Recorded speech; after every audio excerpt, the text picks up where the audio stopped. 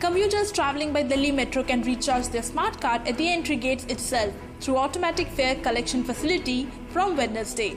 This auto top up of Metro Smart Card facility will be available at 54 metro stations which include all stations of line 5 and line 6.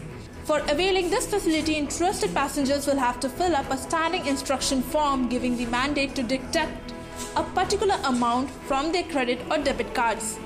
Initially, the form may be collected, filled up, and submitted to the ICICI staff deployed at the seven metro stations, namely Sikandarpur, Huda City Centre, Badarpur, Nehru Place, Govindpuri, Lajpat Nagar, and Kailash Colony from 10 am to 5 pm throughout the week.